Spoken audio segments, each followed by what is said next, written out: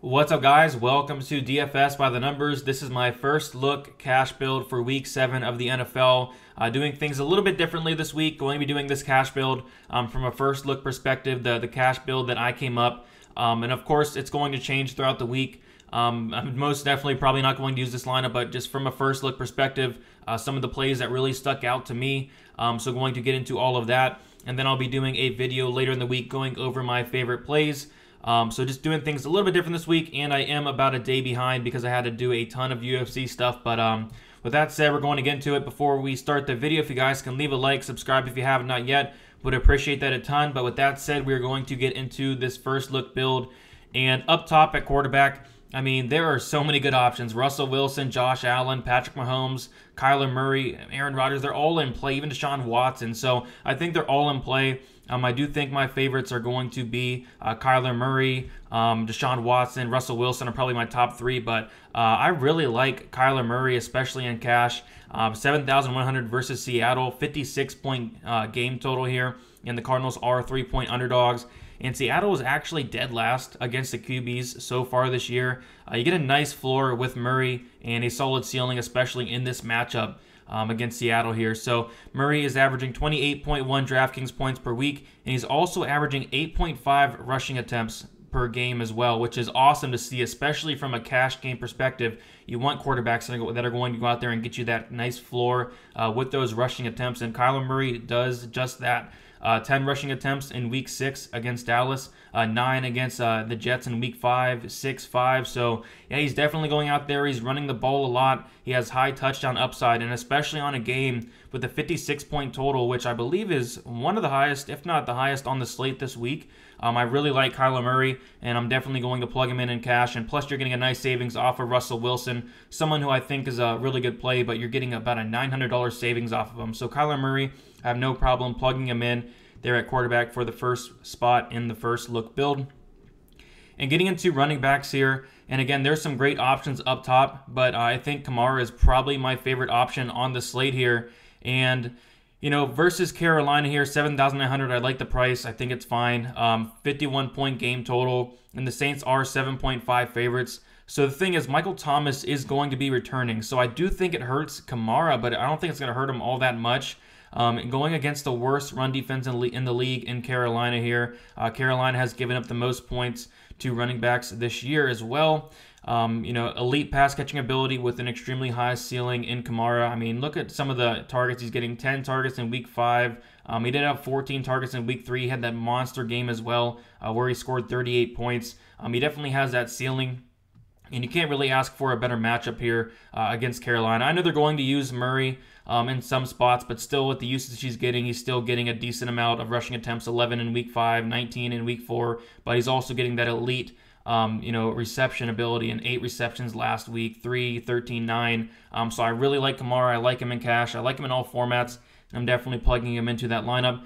And this week in cash, I'm probably going to pay up for running backs. I don't like you know some of the running backs. I think there's some decent value options, but really, I think uh, I'm going to pay up in my cash build, and Kamara is definitely the first step to that. Uh, the other guy I'm looking at in cash is Aaron Jones versus Houston, another guy with a fantastic matchup.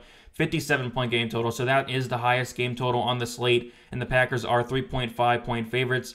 He's averaging 23.6 DraftKings points per week, and he did have that that big game in uh, in week two. He had 48 DraftKings points as well. And Houston has been awful against the run this year, and Houston has also given up the fifth most DraftKings points to running backs as well. So uh, high upside play in a game that has the highest expected game total. I would not be surprised if he found the end zone a couple times. And uh, Packers are also expected to be in front a lot of this game. You know, probably leading to uh, some more Jones here and, and, less Williams. Usually they'll bring Williams in there uh, when they're trailing to uh, use him in the passing game, but um, you know they can use Jones in the passing game as well. Five targets, five targets, four, eight. Um, so they're at, they're definitely using him in the passing game, which I do like to see. And at 7,200 versus Houston, I think that's a, a very good play.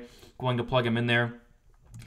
And then moving into wide receivers, and you know, I would love to just plug in DeAndre Hopkins. I think Hopkins is the best wide receiver play on the slate, most expensive. Um, but the problem is, if you do pay up for running back, you cannot go up there and get Hopkins. I tried it, um, and it's not going to work out. But I would love to get Hopkins in that lineup. Um, but going down finding some value here since we are paying up at running back this week. And I like Terry McLaurin, 5,800 versus Dallas, 46 point game total. Washington is surprisingly a one point favorite. Uh, just an amazing matchup here against Dallas, and I've been targeting this Dallas defense all year, and it's been working out fantastically. Uh, Dallas has given up the second most DraftKings points to wide receivers this year. Tons of targets each week from McLaurin. He had 12 last week, and he is averaging nine on the year, 9.5 on the year as well. So you can't really ask for a better matchup here against Dallas. Um, honestly, wouldn't be surprised if Dallas did get ahead at some point. Washington usually does come from behind in pretty much every game, it seems like. So McLaurin at 5,800, I really like the uh, the volume that he's going to get. I really like the price. I really like the matchup at 5,800. Man, it's a very good price for McLaurin. Looking down for some more value here at wide receiver. And something that really stuck out to me was uh, the price of Diontae Johnson here at 4,200. I know Claypool has been fantastic, but um, people are forgetting about Diontae Johnson here versus Tennessee. 50.5 point game total. The Steelers are one point underdogs. Expected to uh, play this week. I believe he's practicing on Wednesday, as far as I know, and he should be going back into that wide receiver two role. And he's just way too cheap for 4,200. Uh, when healthy, he did really well, scoring 23 and 10 points. Also had 23 targets uh, when he was fully healthy in week one and week two. And yeah, Claypool has definitely impressed, but he still should get some decent usage this uh, this week here. And another thing, like Juju Smith Schuster has been someone who has been really underperforming. Like Diontae Johnson was outscoring him like week one. Um, Claypool outscored him last week, the week before. So maybe uh, you know they're starting to kind of take over, and it's kind of weird to say because Claypool is actually more expensive than Juju Smith-Schuster this week, and I never thought in a million years I would see that. But yeah, Diontae Johnson um, in a game that has a pretty solid total total at 50.5, I think is a great option. Should be fully healthy coming in here, and uh, Ben Roethlisberger, Ben Roethlisberger seems to really like this guy, so I have no problem putting Diontae Johnson in my lineup.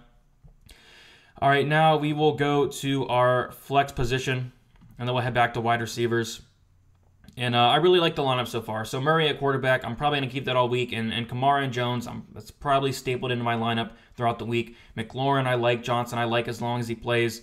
And um, going back to the flex here, and I really like, there's some guys I like. I like Joe Mixon at that price.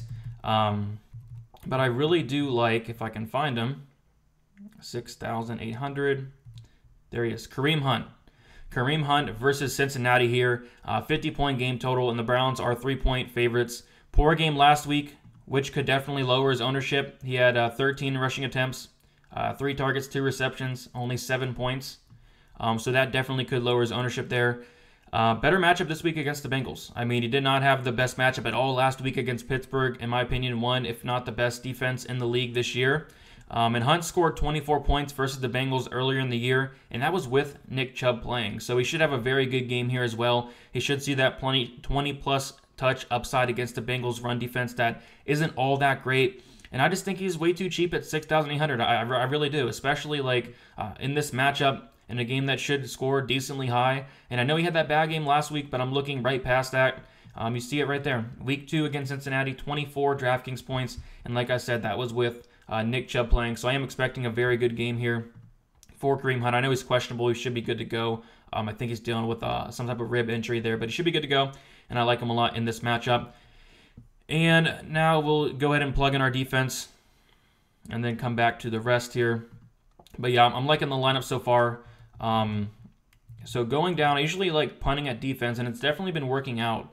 And uh, I think there's a really good punt option this week, and that is the Washington football team defense. 2,500 versus Dallas here.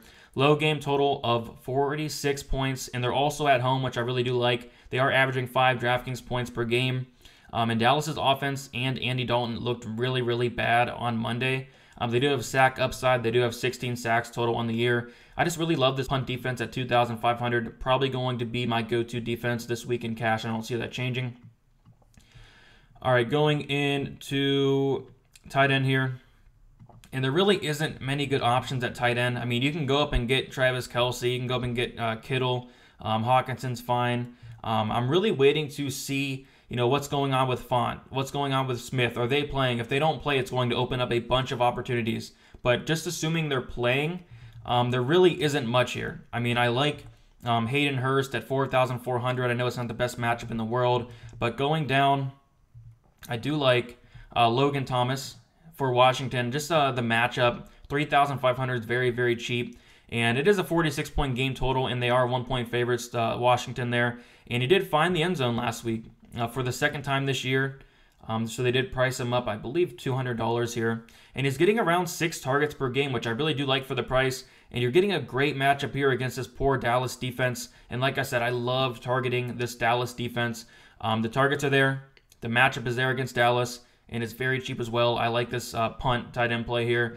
But uh, like I said, of course, there's going to be there's going to be a bunch of opportunity throughout the week. So make sure you guys tune into the video. I'm going to try to get it out sometime on Friday um, going over my full plays, all of my plays there, and hopefully, you know, some value opens up at tight end because although I do like Logan Thomas, I'd rather pay for someone who's like 2,500. Um, if some of like if Fant's out, I think Firkser's is like uh, 3,900 or something like that, 4,100, something like that. But um, hopefully there is some value opening up. But if not, I'm fine with um, I'm fine with Logan Thomas at 3,500.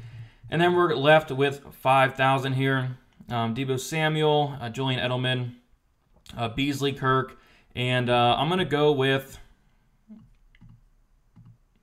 Christian Kirk here at 4,900 um, against Seattle with a 56 point game total, one of the highest on the slate. He is averaging 11.1 DraftKings points per week, and Seattle has given up the most DraftKings points to wide receivers this year so far, which I really do like.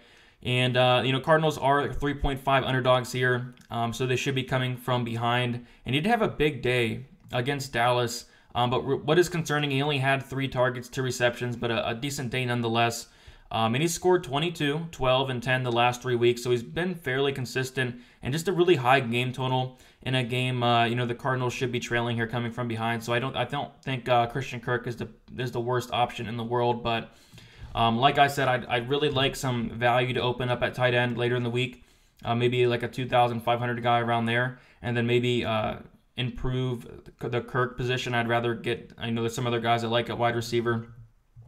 Um, but yeah, this is about all I got for you guys here. Just to quickly recap for the first look build. And like I said, this is definitely going to change. I'm most definitely not going to use this, but this is kind of what I'm looking at. And I like a lot of these plays, and, and a lot of these plays will stay the same throughout the week. But uh, Kyler Murray at quarterback. I like the rushing yard upside, the rushing yard floor. Fantastic matchup against Seattle. Alvin Kamara, Aaron Jones. I am going to be paying up for running backs. You see Kareem Hunt in the flex spot as well. Um, I love the matchup there as well. Should get a lot of usage. And then Terry McLaurin, someone who gets a lot of usage against that Dallas team that I do like to attack. Diontae Johnson's way too cheap. Um, Kirk at 4,800 should have some decent upside against a very bad uh, Seattle passing defense. Um, Thomas here at you know 3,500 going against that Dallas team I like to attack. Um, should get like five to eight targets a game or this game. Um, he's averaging about six points something. So um, the targets are there, prices there. And then the Washington football team defense I really like against the Dallas team that, um, you know, no longer has Dak and Andy Dalton did not look all that great. Neither did uh, Ezekiel Elliott as well. So that's about it, guys. Make sure you guys check out my other content. I'll be putting um, my final thoughts video, all that good stuff, my final plays video, hopefully out on Friday. Um, finishing everything up today, and then hopefully um, there's some injury news throughout the week. Stuff will definitely change. But if you have any questions, you know where to catch me. Uh, Twitter, DFS underscore numbers. Instagram, DFS by the numbers. If you guys want more content, if you guys want to see all my plays, I am on Patreon with the link below. Um, and uh, that's about all I got. And good luck on Sunday.